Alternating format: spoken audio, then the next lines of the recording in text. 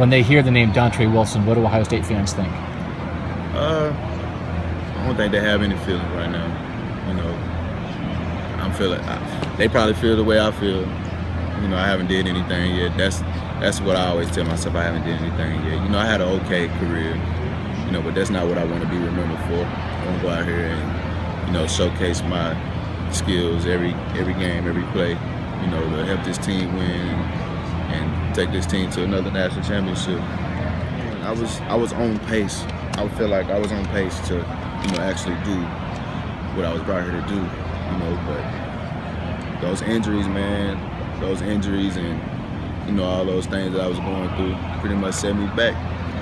But now, you know, I feel like I had a chance to redeem myself and actually go out here and do all those things that I was brought here to But do. that guy that people were raving about, your teammates were going crazy about, that's still you, Yeah. right? You're still that same that talent. You still have that skill, that talent, right? That hasn't gone anywhere. Yeah, but now I just now I just got to go out and show everyone.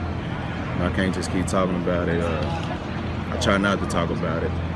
I try I try not to talk about it, but I feel the need that I do need to talk about it to you know to let the fans know that you know I'm still gonna bring that to the table.